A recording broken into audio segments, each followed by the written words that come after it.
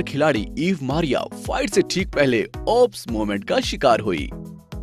इस इवेंट में फाइट शुरू होने से पहले ही मारिया के ब्रा की स्ट्रिप टूट गई।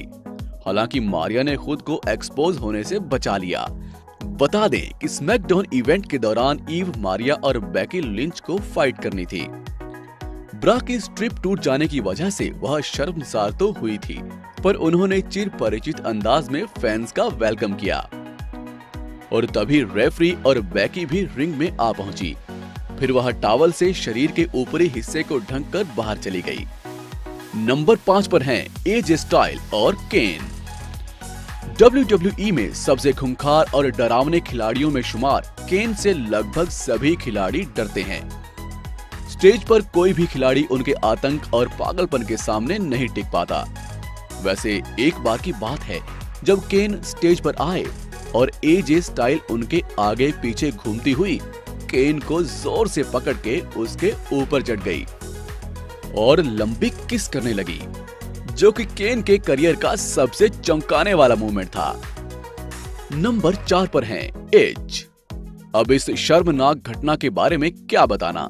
वैसे इस हरकत को देखते ही सभी ऑडियंस हक्का बक्का रह गए थे। हुआ यह था कि एज अपना मैच लड़ ही रहे थे कि अचानक से WWE की कोई ओल्ड लेडी दौड़ते हुए आई और एज को जमकर पकड़ते हुए किस कर दी। इस घटना के बाद तो मानो चारों ओर आग सी लग गई और एज को मानो कोई सांप सूंघ गया हो। नंबर तीन पर हैं मैट हार्डी और लिटा। WWE के मैच जीतने के बाद लीटा काफ़ी खुश थी और इस जीत को सेलिब्रेट करने के लिए मैट हार्डी भी साथ थे। लीटा इतना खुश थी कि मैट ने कब उसे किस कर दिया, उसे पता ही नहीं चला। लेकिन तभी अचानक मैट भी शौक हो गए और लीटा को सॉरी कहने लगे। और तभी अचानक लीटा ने मैट को अपनी ओर खींचा और किस कर दिया। नंबर दो, जब स्टेज पर उतरी मिया खलीफा। ये बहुत कम लोग जानते होंगे, पर मिया ने अपने करियर में अपने पुराने प्रोफेशन को छोड़ स्पोर्ट्स आर्टिकल एंड न्यूज़ पर काम कर रही थी। और इसी बीच वो एक बार WWE के स्टेज पे पहुँची, जहाँ मिया द्वारा कुछ सवालों से स्टेज पे मौजूद जोली रयान भड़क उठे।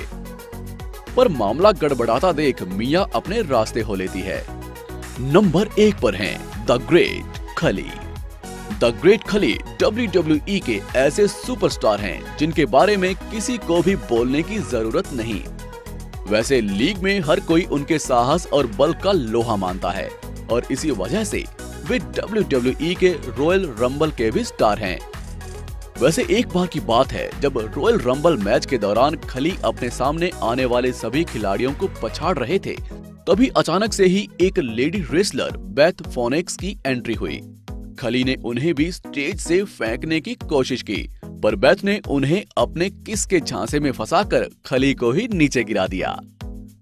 तो दोस्तों, आज के वीडियो में बस इतना ही। लेकिन WWE की और भी मज़ेदार वीडियो देखना चाहते हैं तो अभी हमारे चैनल को सब्सक्राइब कर लीजिए और बेल आइकन को प्रेस कर दीजिए, ताकि आपको सभी अपडेट्स मिले सबसे पहले।